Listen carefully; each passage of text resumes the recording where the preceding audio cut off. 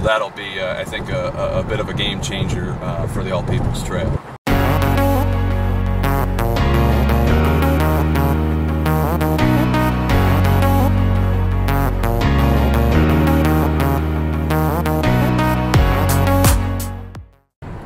So the All Peoples Trail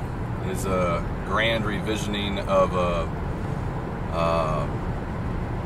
wonderful vision that happened 35 years ago.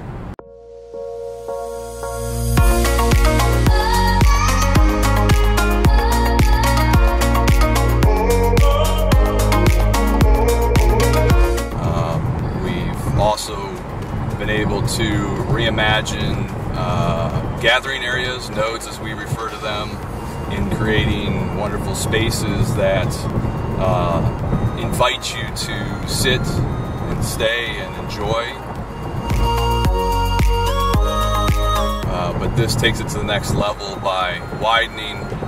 the boardwalk to increase capacity uh, for a number of people to travel on it, but also ease of passing, uh, that kind of thing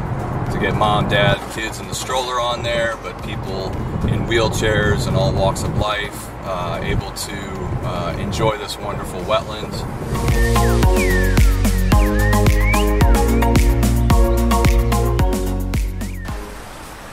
So this is a pretty uh, dramatic transformation here with the boardwalk removed.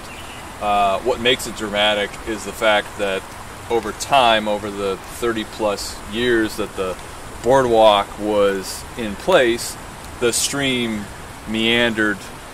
under and past the boardwalk, and so we're seeing right now the just the wide stream of what this little piece of the Doan Brook is is overly wide here, and it's already starting to re, to heal itself by impounding uh, debris and material, uh, so the bank is becoming more stable just by removing the boardwalk piles that used to walk through the stream, uh, unfortunately, and they would impound material themselves and whirl and eddy uh, water through that area so the stream became overly wide. So this is quite impactful to see the uh, boardwalk removed and when the new boardwalk is, is put in, it will take advantage of the uh, bank remaining and uh, be able to do stream restoration uh, in the future on the stream to uh, have the bank more stable for future generations.